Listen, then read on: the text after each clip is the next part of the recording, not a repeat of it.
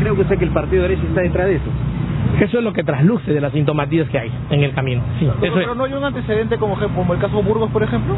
No, para nada. El caso Burgos no se parece a este caso. Aquí no ha habido eh, ningún tipo de, sino más que un error de omisión de precisar que se estudió y se graduó de bachiller en la Universidad Católica y se tituló en la Facultad de Derecho de San Martín. Pero un gran error en todo caso porque se trata del candidato a la alcaldía, no es un eh, un regidor o un eh, candidato de menor, digamos, rango. Probablemente, y como ya se dijo, el error es del personero técnico, que es el único que tiene la clave para poder ingresar nuestros datos a la página web del Jurado Nacional de Elecciones. ¿Procede la tacha o no? Pero, perdón.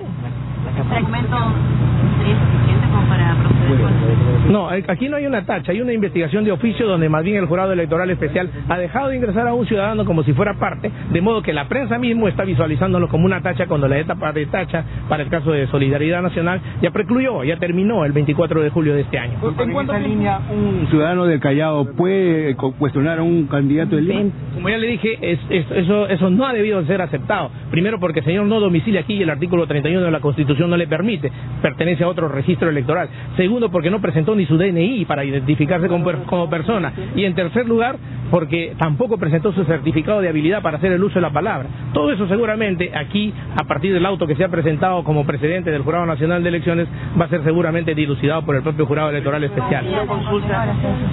Lo que, eh, lo que se nos ocurre es que aquí va a haber una resolución con la anotación marginal, seguramente, que es lo que corresponde, pero si al otro ciudadano se le ha dado las prerrogativas de ser una parte en este proceso de oficio, probablemente él presente una, una apelación, seguramente, y esto terminará en el Jurado Nacional de Elecciones, donde con propiedad jurídica, porque ahí ya no se discuten temas de naturaleza política, volveremos a demostrar en la forma y en el fondo lo que ya hemos dicho esta mañana. Sobre la posibilidad del tema de... Le consultan también sobre el Ministerio Público y esta investigación que se ha abierto eh, tras una publicación de la revista Poder y el caso de Comunicore eh, que se lo implica con lavado de activos. Dice que eso es un tema, como ya en su momento explicó Oscar Luis Castañeda Locio, un tema de cosa juzgada y que en el Tribunal Constitucional inclusive también eh, él está fuera del proceso porque en el Tribunal Constitucional se pronunció en esos términos. O sea, la Fiscalía no puede volver a recurrir a un tema porque un ciudadano no puede estar perseguido toda su vida por un tema que ya fue, este,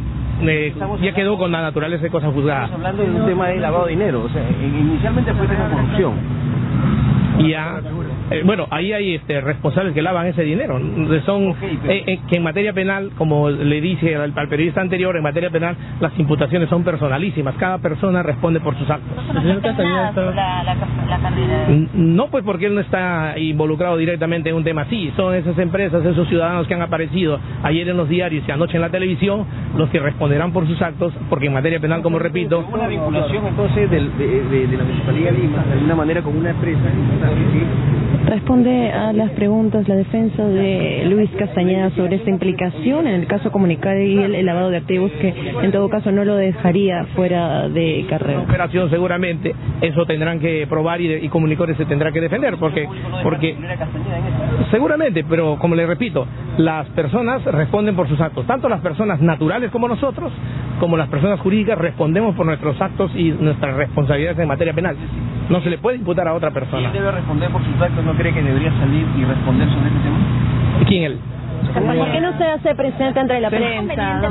salir a los medios de Probablemente, como ya se dijo en estos días, eh, el señor Oscar Luis Castañeda Locio va a salir en estos días y ya se, ya se sabe que eso de todas maneras se va a dar. Por lo pronto va a estar en el debate del 28 de, de septiembre con todos los otros candidatos. Sí, eso es lo que se sabe a- hasta el momento. Por lo demás, yo estoy en el equipo de profesionales de Solidaridad Nacional. El equipo de campaña es el que tiene el dato más exacto en todo caso. ¿no? Entonces, ha confirmado que Luis Castañeda Locio estará en este debate del 28 de septiembre. Sería su primera ap- aparición en pública donde responderá sobre diferentes temas como el de Comunicore y el de su hoja de vida también. pasa que ustedes ya lo han dicho y lo han comentado, además es un tema de estrategia y cada uno tiene derecho a tener su estrategia como le parezca. Si eso, además, le da como tendencia que hace dos meses estaba en 44%, hace un mes y medio en 48% y así sucesivamente y ahora está en 59%, entonces quiere decir que la estrategia está bien. ¿Por qué la va a cambiar? Ningún de, entrenador de fútbol, por ejemplo, cambiaría esa estrategia si está ganando el partido.